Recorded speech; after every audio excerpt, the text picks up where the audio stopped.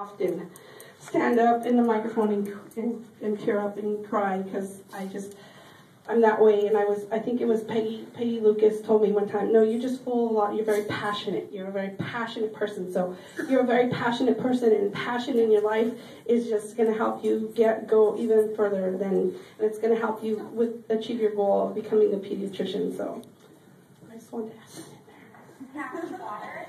Um, one thing that I do want to say, um, I had planned to have a box of hair um, nets for you, um, Sarah, because I know how much you like them. Sarah, I have to just share this little story. Sarah um, got to experience uh, a need for wearing a hair net down in the ER, and and um, and we just wanted to give her, you know, she was just like, I'd, I'd rather have those on. So we had a nice discussion about the importance of all of the materials we wear. Oh, look, she has it. She's kept it. Yes, yes. Uh, something I think she'll treasure forever. Yes. So they got to wear scrubs all week, and she also she's the only one that got the hair the hairnet. Our next student that is going to be coming up is Mercedes Ball.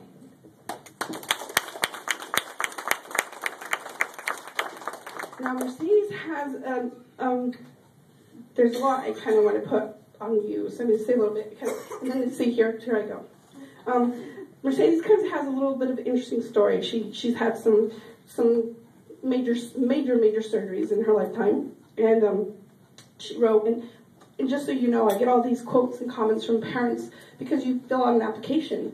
And there's a reason why, because I get to take all your loving filling and I read all of it at the end of the week so I can see, oh, now I know you, and now I know where you come from and what your parents are saying, and I can feel it and feel what you're saying and understand what you're saying. Mercedes says, I would like to help others in need the way I was helped through tough times I, because I can put myself in their shoes.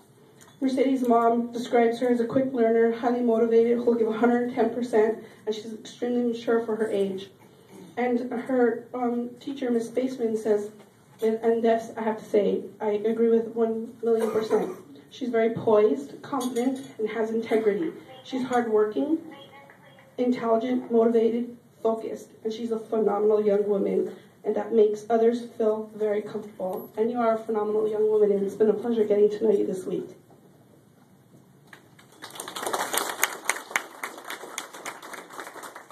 Okay, Sarah. I'm like you. I'm getting all teary eyed.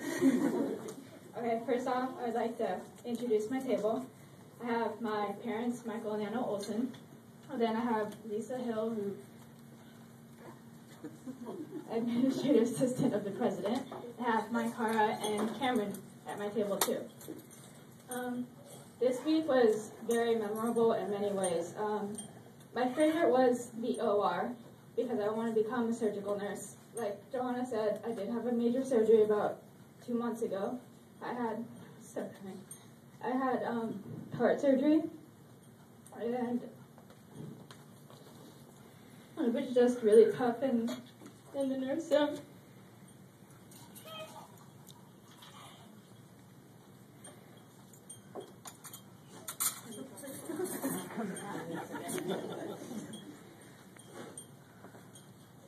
The nurse helped me when, you know, 16 year old having heart surgery is nerve wracking. It still is, but um, they just wanted to do that for anybody who's having any type of surgery, so I got to experience some of that. And my least favorite was had to be radiology. I can't stand that. I'm sorry, staying away from there but um, other than radiology, ER was not that fun either. But um, I actually had a lot of fun um, this week, and it made me realize that it's not going to be easy. But I want to help people how people have helped me, and that's what I want to accomplish in life. So I want to thank Johanna and everybody who put this program on for letting me experience that, and thank you.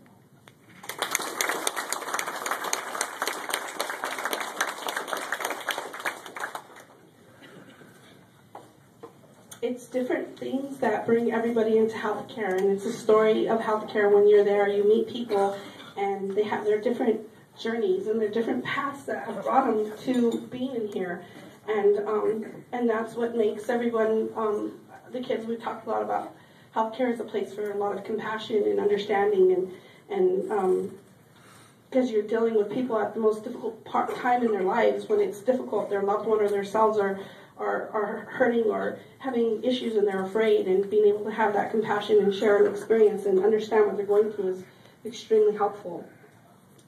Um, I want to just point out at this point, because we're having the kids introduced, but I want to just take an extra moment to introduce over at, um, at uh, Mercedes' table is um, sitting Cameron Hill and Makara Figueroa. Figueroa. Figueroa. Um, Makara is a past um, student um, who attended this camp uh, two years ago, and she um, just recently graduated from Calaveras High and is off to a great, great, great future. And next to her is Cameron, and Cameron is he holds a really, really special place in my heart. Um, every this is our our fourth year that we've done it, our fifth camp, and Cameron has been with us with every single camp. He started off with us the first year um, when he was going to be a junior, and then the second year he came on when he was going to be a senior, and then last year he said um, he called me and he said I, I, know I just graduated from high school. I got to UC Monterey and I'm going into mathematics and I made the honor roll and what else?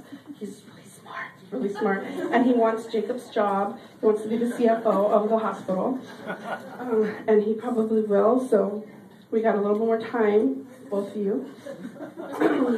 He's uh, just finished his freshman year at college and is doing extraordinary. Um, Don't forget the dean's list.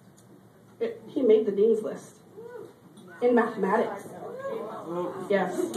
Um, but Cameron called me right after he graduated and said, "Hey, um, can you, uh, you know, use any help? Is it, you know, you, you, I'd like to come and be a part of the camp." So, I, I said, um, well, let me think of it. And about a half hour later, I called him and said, okay, we're going to create this student mentor spot, and you're going to come in it. And, and he did, and he was awesome, and opened up the door for Megan, who's doing it this year.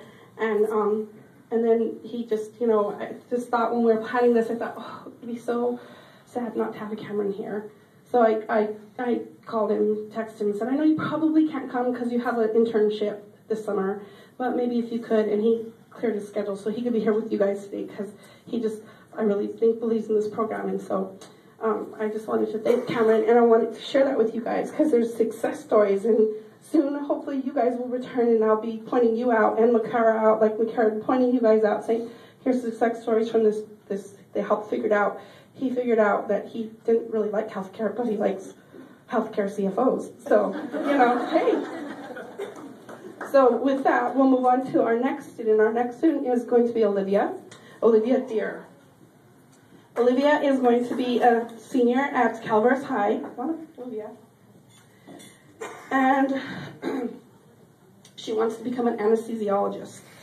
Um, she came in wanting to be an anesthesiologist, and she said, I still want to be an anesthesiologist because I like the respiratory system. Those are exact words. And one of the things she told me one one day, saying um, one of her favorite things, and I'm not sure she's still to say it, but she said she's going to take out from here. Someone told her, if you fill it in here, it'll come here.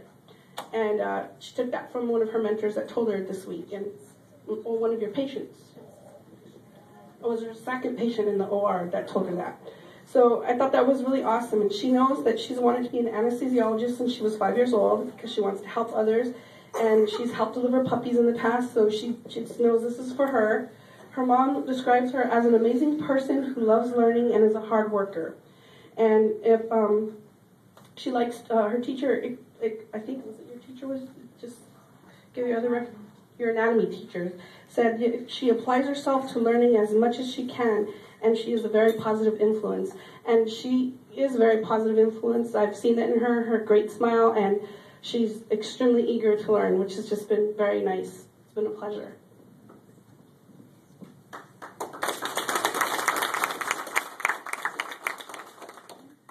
Thanks. Um, as a lot of other people said, I'm not so good at speeches, but wanted to start with introducing my table. There's my mom taking pictures of me, which she knows I don't like. and she's stay at home, and I love her so much. She takes care of me a lot. So say she should be in, in R, but she doesn't want to be. I mean, RN, sorry, my bad. Been here all week, I should know that. And Karen Romero, she's a doctor at Delhi, um, a rehab spot.